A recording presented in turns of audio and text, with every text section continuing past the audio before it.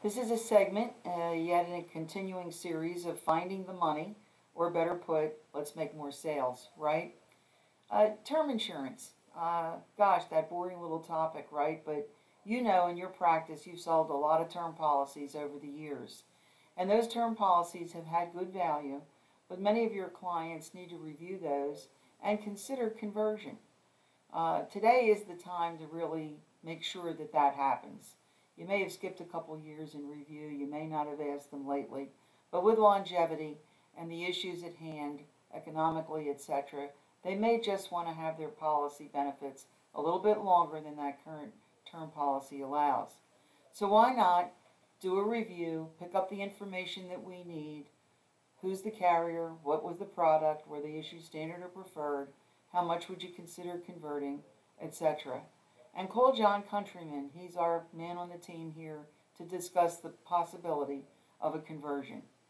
Remember that there's some real issues in term policies. Some policies were sold so cheap they don't even have a term conversion. Don't stumble into that problem. Uh, others are limited. It may not have conversion capability over all the years. So you need to know that. You need to find out now.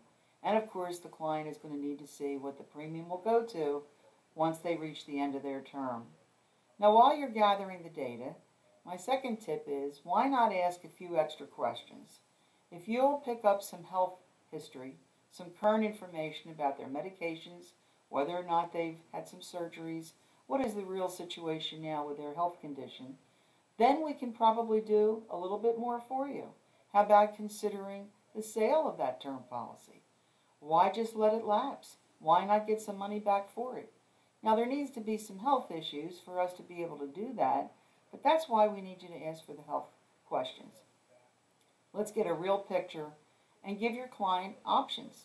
Convert, partially or fully, drop it, sell it. That's your job, right? Let's do a full review. Let's see what those opportunities are that are out there for you and your clients before the end of the year. This is a good time to try to capture more sales. If you do have a life settlement option here for us to review, Neelam Patel handles our life settlement desk. So please ask for her when you call. Again, thank you for listening. I hope the tip is a little reminder of some of the things that you can do today to help your clients.